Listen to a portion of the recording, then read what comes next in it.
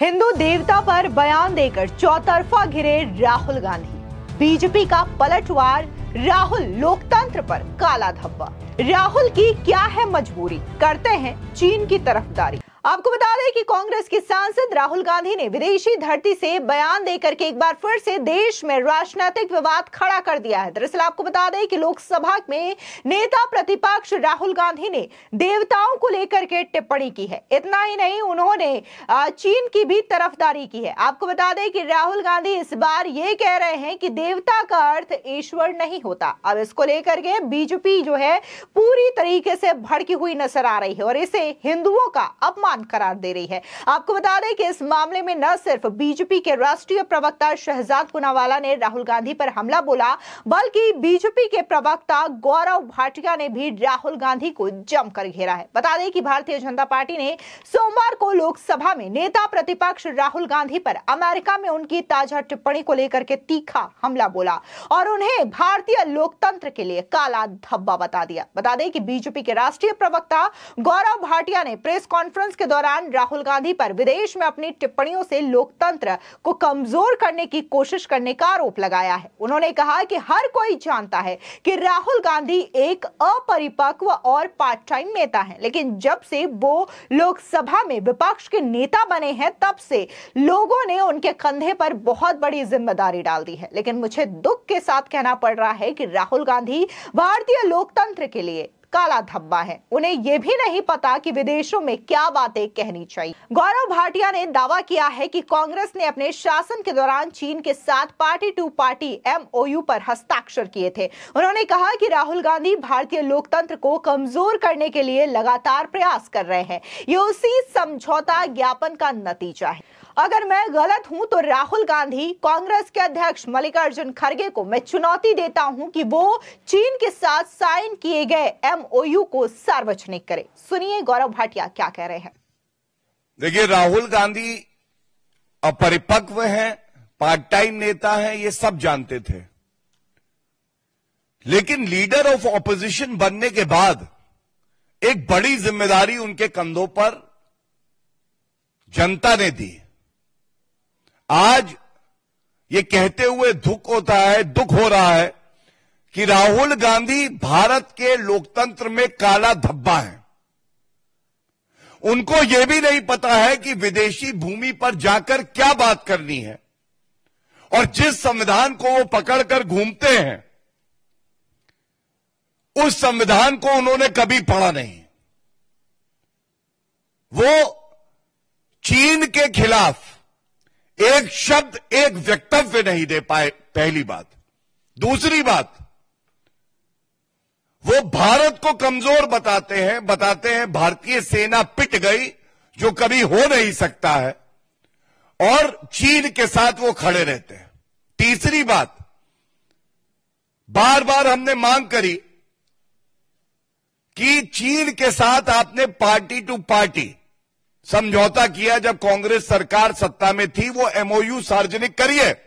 और आज बड़ी ज़िम्मेदारी से और विश्वास से मैं कह सकता हूँ, भारत के लोकतंत्र को कमज़ोर करने की, ये जो कड़ी लगा रखी है राहुल गांधी ने, ये उस एमओयू का ही परिणाम है। और अगर मैं गलत हूँ तो राहुल गांधी को चुनौती देता हूँ, खड़गे जी को चुनौती देता हूँ, वो एमओयू सार्वजनिक करिए। और सबसे बड़ी बात है हमने देखा है, विधानसभा के चुनाव जम्मू कश्मीर में है। एक तरफ़ ये लोग कहते थे, अनुच्छेद 370 हटा के दिखाओ। नरेंद्र मोदी जी वो व्यक्ति हैं जिन्होंने भारत को मज़बूत किया, अनुच्छेद 370 संशोधित करके हटाया। अब ये छाती पीटते हैं कि कैसे हटाया। लेकिन आज सवाल यह है राहुल गांधी संविधान आप उठाते हो, संविधान की अनुच्छेद 370 अनुच्छेद में पहला शब्द टेम्पररी था। क्या आपने वो पढ़ा? क्या आपने पढ़ा? अस्थाई, आप 55 साल सत्ता में रहते हो, नहीं हटा पाते हो, मोदी जी हटा देते हैं, और रंजिश ऐसी, इतनी पीड़ा कि इनके साथी हैं नेशनल कॉन्फ्रेंस वो कहते हैं, अफजल गुरु, आतंकी। हमारे भाई बहनों की जान चली गई और ये कहते हैं, उसको फांसी दी तो क्या हुआ? क्या मिला भारत को? आज एक तरफ़ नरेंद्र मोदी जी, हमारी सरकार, भारतीय जनता पार्टी और जनता, ज़ीरो टॉलरेंस फॉर टेररिज्म, ये पॉलिसी है। दूसरी तरफ़ आतंकियों को, नक्सलाइट्स को ऑक्सीजन देने का काम। कोई कर रहा है तो वो ऑक्सीजन सिलेंडर, कांग्रेस पार्टी और इंडी अलायंस है। और इसीलिए जब इस तरह के गंभीर प्रश्न पूछे जाते हैं तो भारत की धरती पर इनमें इतना मादा नहीं है कि एक शब्द बोल दे। विदेशी भूमि पर जाके भारत के खिलाफ दुष्प्रचार करते हैं। वहीं दूसरी ओर बीजेपी के प्रवक्ता शहजाद पुनावाला की बात करें तो उन्होंने भी राहुल गांधी को जमकर घेरा है। बता दें, उन्होंने कहा कि राहुल गांधी विदेश धरती पर जाकर अपनी पुरानी आदतों से बाज नहीं आ रहे हैं। हिंदू संस्कृति, सनातन धर्म, भारत को गाली देना, अपमानित करना, ये सब कुछ वो नहीं छोड़ते हैं। उन्होंने आज एक अद्भुत ज्ञान दिया। वो कह रहे हैं कि देवता का मतलब भगवान नहीं होता है। क्या कभी राहुल गांधी दूसरे धर्म को लेकर के ऐसी बात बोल सकते हैं? वो कभी नहीं कहेंगे। उन्होंने कहा कि वो कभी प्रभु श्री राम को भगवान नहीं मानते, देवता को ये भगवान नहीं मानते। ये वही राहुल गांधी है जो ये कहते हैं कि हिंदू हिंसक होता है। कहते हैं कि राम जन्मभूमि के आंदोलन को हमने समाप्त कर दिया। सुनिए शहजाद पुनावाला, क्या कह रहे हैं जब राहुल गांधी इस प्रकार की बातें करते हैं तो लगता है कि सौ चूहे खाकर बिल्ली हज को चली। ये एक मुहावरा है, इसको रियलिटी में ना ले। Rahul Gandhi ji idea of India पे बोलेंगे। जिनकी पार्टी ने इमरजेंसी के दौरान कहा कि Indira is India and India is Indira. और आज तक उसका खंडन नहीं किया है, वो आइडिया ऑफ़ इंडिया समझा रहे हैं। पहले इसका खंडन कीजिए।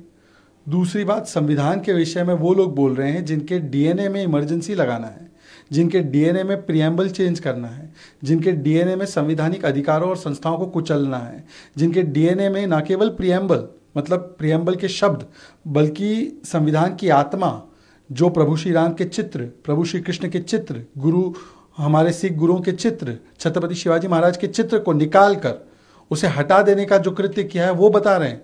और यदि आप संविधान के प्रति कटिबद्ध है राहुल गांधी जी तो आपके फैमिली एंड फ्रेंड अलायंस वाले, नेशनल कॉन्फ्रेंस वाले कह रहे हैं कि हम 370 जम्मू कश्मीर में लागू करेंगे। इसका मतलब कि भारत का संविधान वहाँ लागू नहीं होगा। 370 हटने के बाद ही लागू हुआ है। इसका मतलब यह है कि जो आरक्षण वाल्मीकि समाज को मिल रहा है, वो नहीं मिलेगा।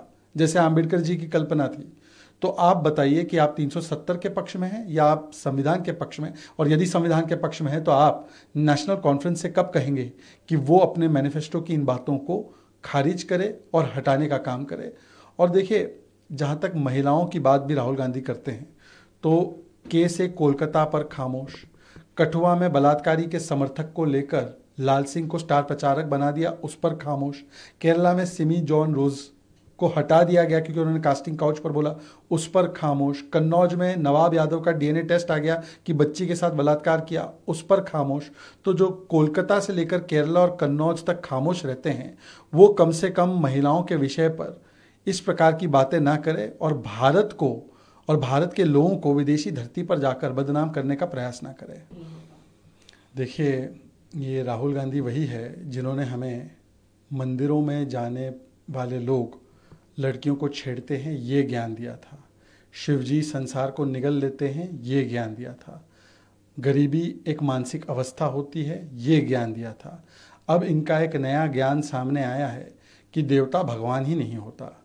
तो इस प्रकार का जो ज्ञान है, वो केवल और केवल हिंदू आस्था पर चोट करने के लिए बार बार राहुल गांधी देते हैं। उन्होंने कहा था ना, हिंदू हिंसक भी होता है।